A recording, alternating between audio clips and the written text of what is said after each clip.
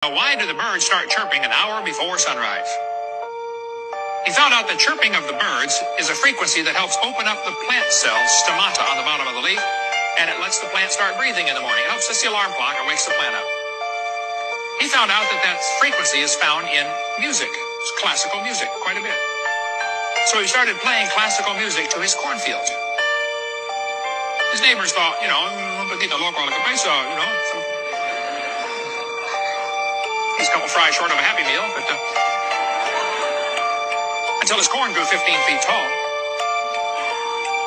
And they said, uh, what channel was that you're playing? when he played the music to his squash plants, they produced five squash per leaf instead of one.